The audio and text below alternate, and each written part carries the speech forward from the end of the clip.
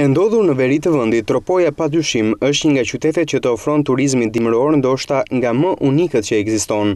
E njohur tashmë për bukurinë e saj dhe ujin e kristaltë të Valbonës, apo bukurisë së luginës së saj, natyra i ka falur këtij vendi edhe madhështinë e maleve, që nga banorët e kësaj zone quhet ndryshe Bjeshkët e Tropojës.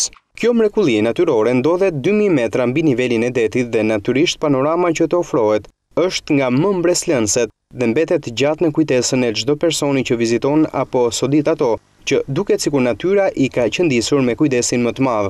Bjeshkët e Tropojës, gjatë stinës së pranverës dhe të verës, shënojnë një numër të lartë të banorëve të cilët tashmë e kanë kthyer në traditë verimin në bjeshkë, por nuk mungojnë edhe turistët e huaj. Pikërisht për këtë arsye banorët shprehen se duhet të ndërhyhet në përmirësimin e infrastrukturës dhe ngritjen e një qendre ambulatore provizore.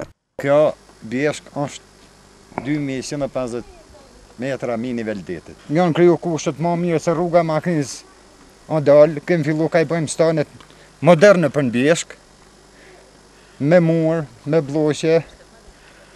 me ujë, vetëm puna e ndihmës shëndetësore është pak e vështirë se na kur dalim marrim barna elementare për shembull për ndihmë të shpejtë për fëmija dhe gjysh. Drita elektrike na mungon. Të kryhet një studim për mundësitë dhe burimet natyrore që ka këtu, për shfrytëzimin e pyjeve dhe për të vu një bazë të fuqishme ekonomike për zhvillimin e Tropojës.